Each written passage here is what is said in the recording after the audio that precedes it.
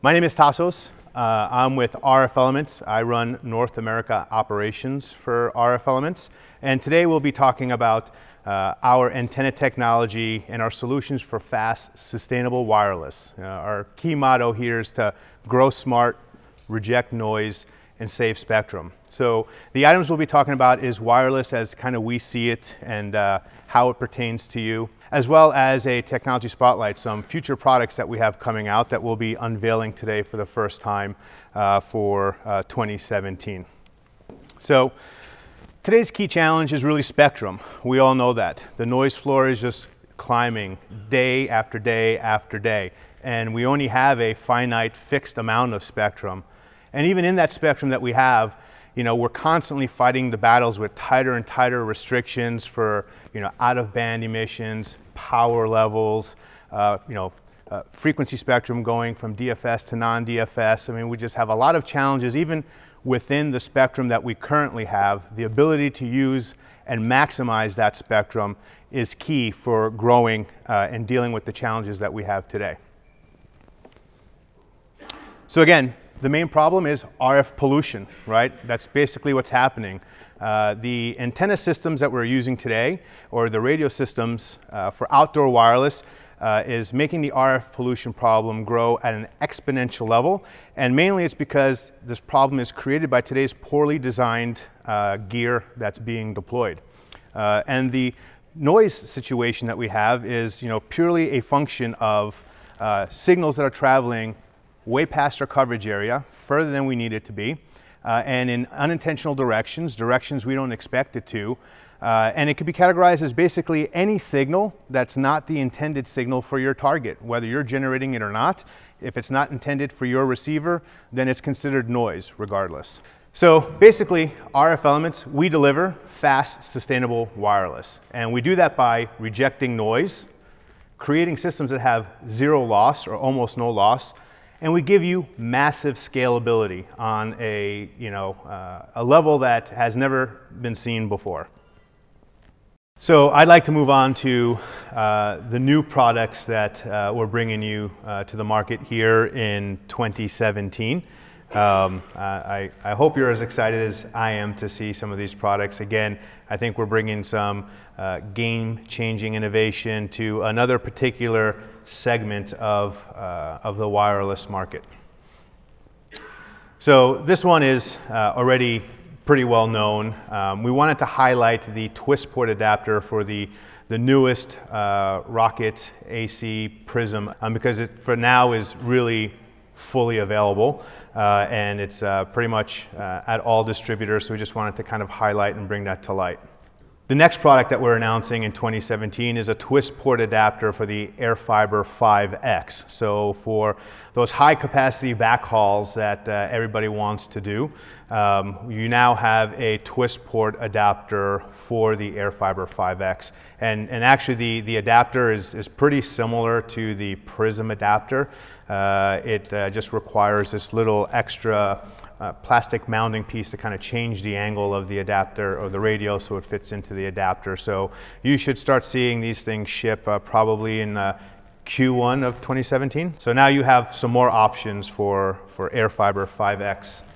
So now we take you into the, the point-to-point -point directional antenna segment of our business, right? We've brought to you uh, horn antennas for point to multi-point, and I know in the early days people thought that they were kind of point-to-point -point antennas, but here are some, some new point-to-point -point antennas that uh, we're bringing to the market in 2017. So the UltraDish series. So th the main thing is we brought you best-in-class beam performance. So, so something I want to speak about, we, we have, you know, our horn antennas and then we have kind of traditional sectors as well, right? There, there are only so many things that you can do with kind of these, let's say, older technologies, a parabolic dish antenna. You know, there's only so much you can do to suppressing side lobes and, and, and making the performance better. So we revisited our old TwistPort 380 dish antenna. And again, we redefined it to have a much wider frequency range. So now it covers the whole 5 gig spectrum. And we adjusted the parabolic to try and suppress the side lobes as much as possible. So they're still there because it's inherent to a parabolic dish antenna, but this is about as good of a uh, RF performance that you can get out of a parabolic dish on the market. So I spoke about the wideband performance. So we have two versions. We have the TP400 and then we have the TP550. The 400 is our 24 dB gain version and the TP550 is our 27 dB version. So uh, basically the 400 and 550 is millimeters, it's the size, so it's roughly about a, a foot and a half on the 400 and about a two, two foot uh, in comparison to the, the 550. So if you look at our vertical to horizontal beam performance, you can see that the gain is very balanced uh, across the spectrum in both polarities, something that's very important in MIMO links today.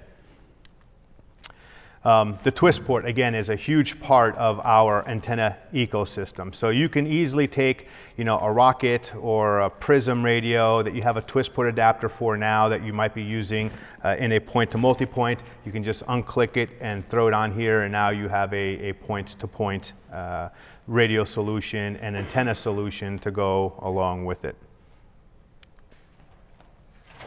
We've also re-innovated the mounting system. So we had a lot of feedback from the field about the mounting system for the previous generation. The new mounting system now is way more robust. It has better screws for tightening it down. Uh, the way the antenna just drops into the mounting bracket now is way smoother. It's easier to align. Uh, we've re-engineered the ergonomics of the carrying handle, the red handle that you see on there. We put uh, uh, a hole in there for your carabiner or whatever your hook so you can hook it to your belt and carry it up or put a rope on it. Um, so, so again, you know, we did, we looked at parabolic dish antennas and kind of tried to, you know, create the best solution possible. Again, always from the user experience, the installer out there the RF performance to give you the best side lobe suppression that's possible for the type of antenna technology that we're doing. And, and again, you know, the, the user experience all in all. So this is basically, you know, as good as it gets for parabolic dish antennas. So again, uh, these antennas come in two sizes, right? We have our 24 dB version with an MSRP of $100, so it's pretty good.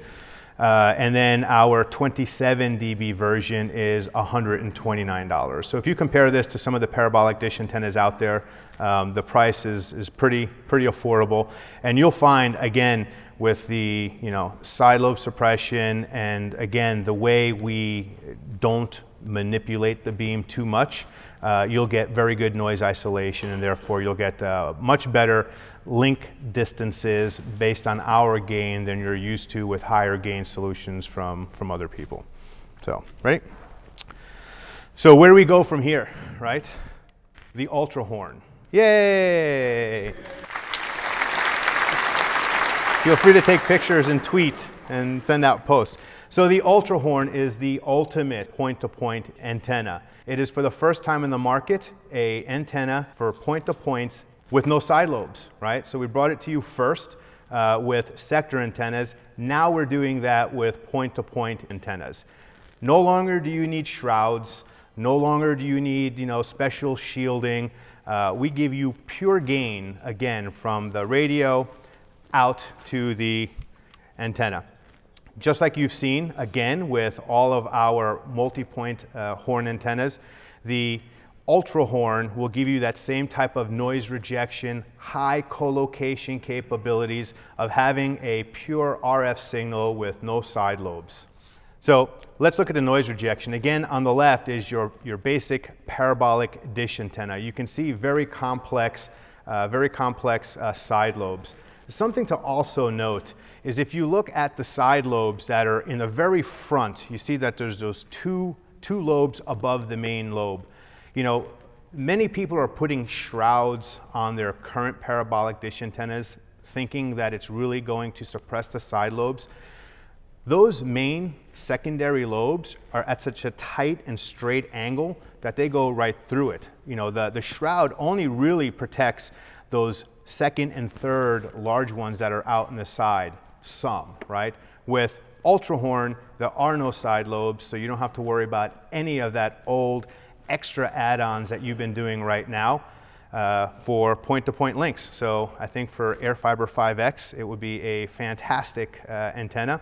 Again, let's just show you some more noise rejection. So the simulations, I mean, these simulations really speak volumes about how our antennas work. And again, you can see a typical parabolic dish antenna, and, and quite frankly, our TwistPort antenna is still a parabolic, so you'll see some of those effects of the side lobes. But when you compare it to an ultra horn antenna, uh, again, it's as clean as it gets. Your signal is only going straight ahead.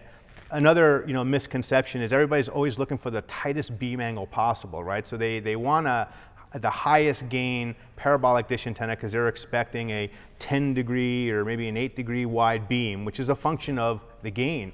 But very often we totally ignore the reception capability of the side lobes on those same parabolic dish antennas. So you think you're getting a 10 degree beam and you think you're getting 10 degrees of isolation, but you're not because that parabolic dish antenna is really hearing 60 or 70 degrees worth of spectrum. So again, ultra horn with no side lobes, you get nothing but main, main beam connectivity. The Ultra Horn, again, like I said, comes with a TwistPort technology. So you'll be able to use an Ultra Horn with any of the current radios that you're using right now, whether it's a Cambium, uh, MikroTik, or you know, pretty much any of the Ubiquiti radios out there. So high gain, right? Both of our Ultra Horns, we have two Ultra Horns. We have the 21 and the 24 dB version. Uh, again, we have very balanced gain, and actually this is a very high gain. Um, I'm sure we're going to go through the same type of you know, initial feedback where you're used to a 30 plus dB gain parabolic dish antenna and how is a 24 dB parabolic dish going to do anything near what a 31 or 32 can do. And I'll tell you right now, with again, if you look at link budget, not only with the forward gain part of the equation, but you look at the noise filtering part, you're going to gain uh, an extra 10 possibly even 15 dB of noise isolation to your link budget. So, so I know for a fact that the 21 and 24 will outperform uh, higher spec uh, mainstream parabolic dish antennas on the market today.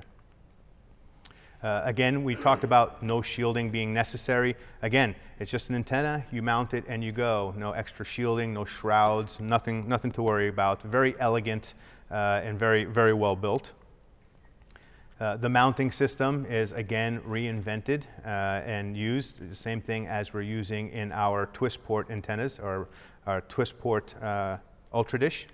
And the price points for them. So the 21 dB version will be $299 and the 24 dB version will be $299.